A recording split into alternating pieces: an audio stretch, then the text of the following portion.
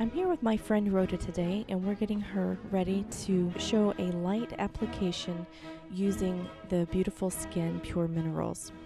First, we start by getting her face moisturized so its palette's nice and ready. Then I take a small brush and go over some problem areas a little heavier, just right on the spots where she needs the extra coverage since we're doing a light application. Now, what I've done is tapped some of the mineral makeup out in the lid and swirled the brush through it.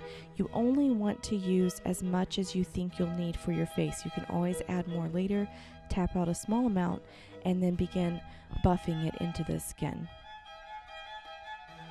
A little goes a long way.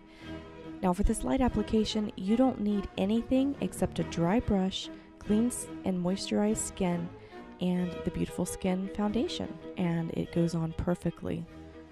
Rhoda likes a really natural look, so we're doing a very natural sheer look, just trying to um, cover up her most problem areas and just blend all of her skin tones together.